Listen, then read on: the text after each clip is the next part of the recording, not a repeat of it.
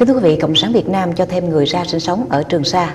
Trong động thái khẳng định chủ quyền, Việt Nam vừa chuyển thêm gần 100 người ra sinh sống và làm việc tại huyện đảo Trường Sa.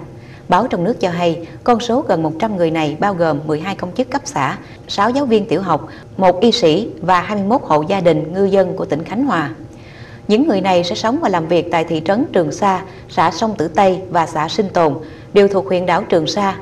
Lễ tiễn những người này ra đảo được tổ chức chiều ngày thứ Ba 11 tháng 6 tại quân cảng Cam Ranh dưới sự chủ trì của Ủy ban Nhân dân tỉnh Khánh Hòa và Bộ Tư lệnh Vùng 4 Hải quân.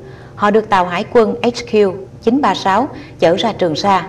Trường Sa là một đơn vị hành chính cấp huyện thuộc quản lý của tỉnh Khánh Hòa từ năm 1989, tuy được thành lập từ năm 1982. Huyện Trường Sa có 3 đơn vị hành chính trực thuộc là thị trấn Trường Sa, xã Sông Tử Tây và xã Sinh Tồn. Thị trấn Trường Sa bao gồm đảo Trường Sa và các đảo, bãi đá, bãi phụ cận là nơi tập trung dân cư đông nhất. Theo thống kê năm 2009, dân số toàn huyện Trường Sa là 195 người, trong đó thị trấn Trường Sa có trên 80 người. Như vậy, sau đợt di dân mới nhất, dân số huyện Trường Sa sẽ được tăng thêm 1 phần 3. Tăng cường hiện diện dân sự là biện pháp khẳng định chủ quyền được nhiều quốc gia trên thế giới sử dụng. Hiện Trung Quốc chưa có phản ứng trước thông tin nói trên. Tháng 3 năm ngoái, khi Việt Nam đưa 6 chư tăng ra trụ trì ở các chùa ở Trường Sa, Bộ Ngoại giao Trung Quốc đã phản đối và cảnh báo Việt Nam nên tôn trọng chủ quyền của Trung Quốc.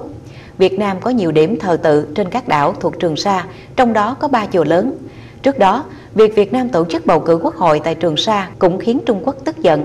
Về phần mình, Bắc Kinh đang nỗ lực phát triển hạ tầng và tăng dân số tại thành phố Tam Sa, đơn vị hành chính mà Trung Quốc thành lập năm ngoái, bao gồm cả Hoàng Sa và Trường Sa mà Việt Nam tuyên bố chủ quyền.